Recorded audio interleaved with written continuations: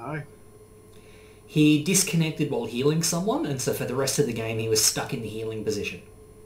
Ah, So he was just sliding around without moving, without making any sound. He could sprint silently due to the glitch.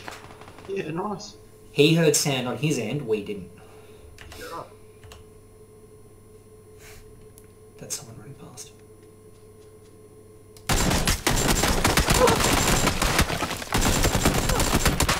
I'm down. Oh, you shouldn't have run out. Oh, well, I put some fucking bullets into him.